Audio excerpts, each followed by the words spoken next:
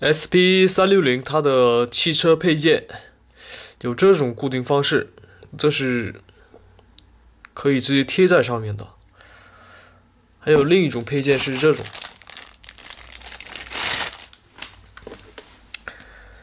这个是可以反复呃贴在玻璃上的一个汽车支架配件。这里有个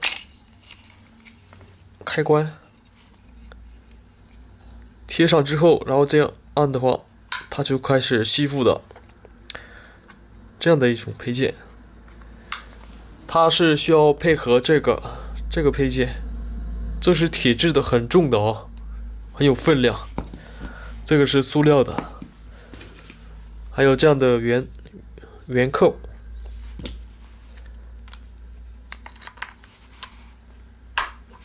这样之后。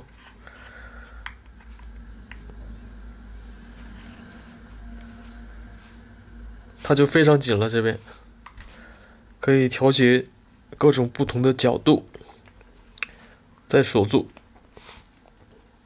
嗯，是这种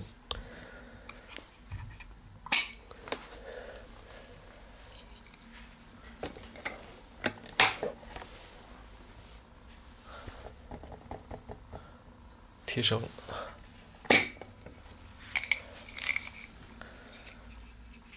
是这种配件的，然后它可以配合这个防水壳，配合这个，配合这边，然后插在这边使用。这样的它的头是很大的，总感觉有点可能有掉掉落下来的风险的感觉，感觉不是很踏实的感觉。当然还有这样的，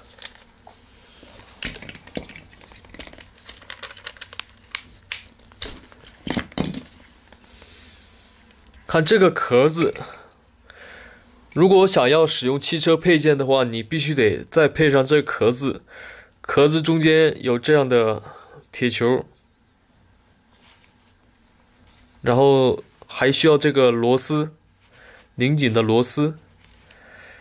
如果你只有这个小黄的话，就呃无法固定，要配合这个外面的塑料固定固定支架吧，固定架，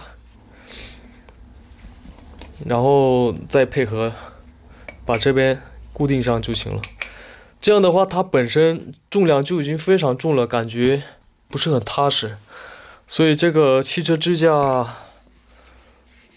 嗯，可是它比较适合这个自行车支架，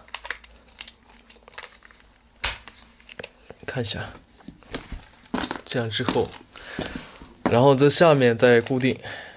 今天我主要是想测试这个自行车支架，我想把它固定在自行车上面，然后去看看拍摄效果吧。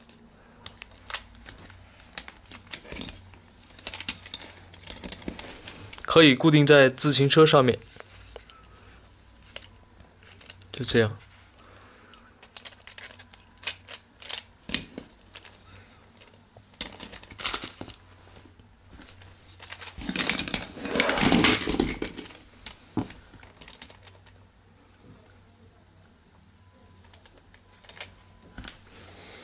去固定在自行车上。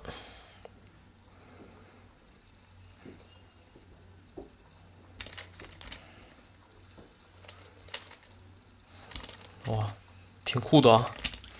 Let's go。